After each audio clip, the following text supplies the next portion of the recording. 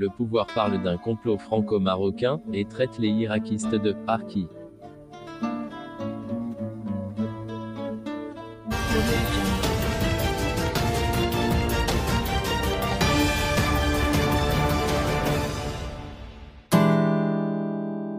Présidentielle algérienne, quand l'imagination morbide du régime accouche d'un complot franco-marocain.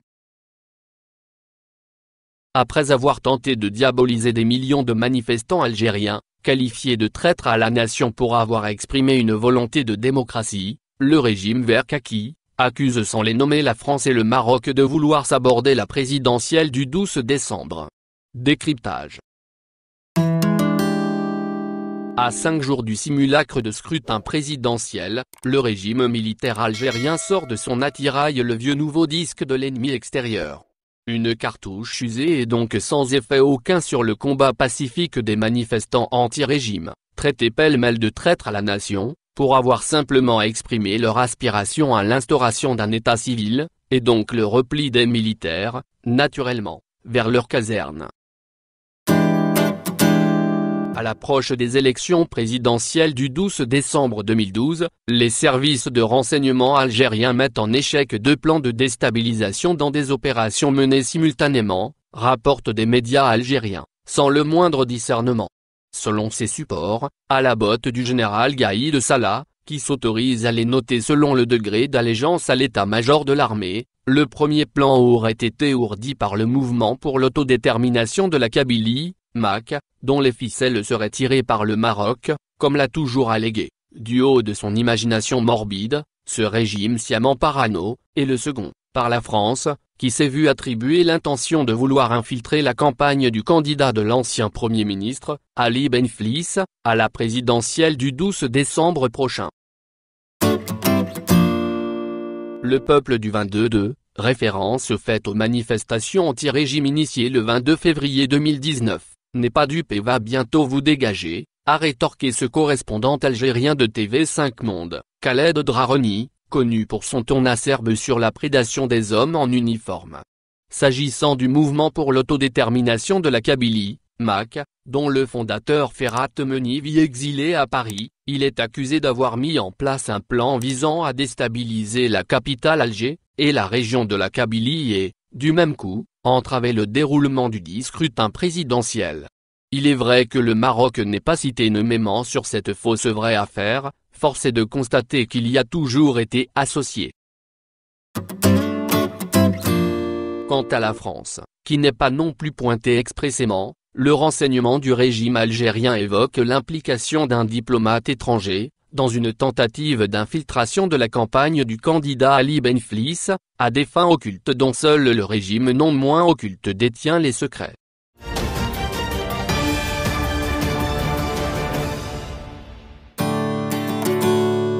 Algérie, après la bourde du ministre de l'Intérieur, l'armée traite ceux qui boycottent le vote de Harki.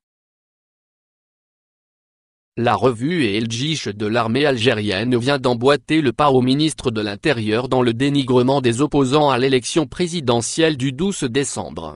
Un changement de ton des autorités militaires, devant les menaces de boycott qui pèsent sur ce scrutin. Décidément, le régime algérien a bien du mal à se contrôler, à quelques jours du scrutin présidentiel du 12 décembre.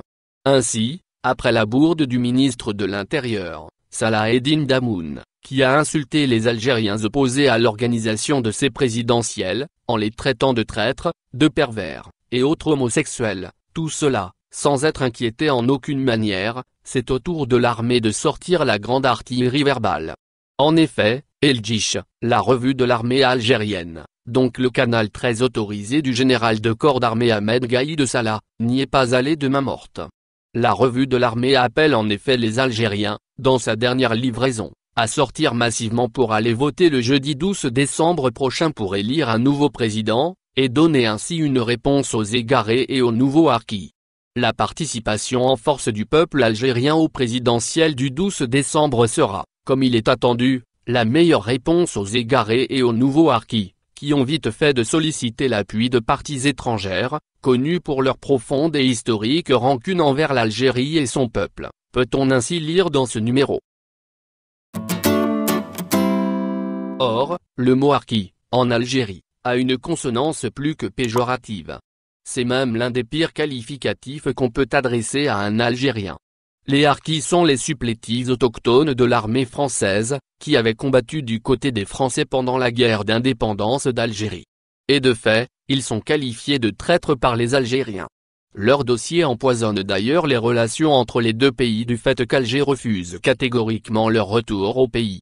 En clair, en traitant les manifestants de harkis, la revue de l'armée ne fait qu'emboîter le pas aux mots prononcés par le ministre de l'Intérieur. Seulement, dans ce cas précis, c'est l'institution la plus importante d'Algérie depuis l'indépendance qui n'hésite pas à qualifier le peuple de traître. Bref, tous les moyens sont bons pour un régime algérien désormais aux abois, pour faire face à l'opposition du peuple algérien à ses présidentielles. D'ailleurs, cette sortie de la revue intervient au lendemain des menaces du désormais unique homme fort d'Algérie, Ahmed Gaïd Salah à l'encontre de ceux qui perturberaient le scrutin du 12 décembre. Cette sortie intervient après de multiples sabotages de la campagne électorale de tous les candidats, les destructions du matériel de vote dans certaines régions du pays, notamment à Béjaïa, en Kabylie, sans compter le refus de nombreux maires d'encadrer le processus du vote, et les appels lancés par les manifestants pour s'opposer à la tenue du scrutin. Abonnez-vous à notre chaîne. Cliquez sur la cloche pour rester au courant de l'actualité algérienne.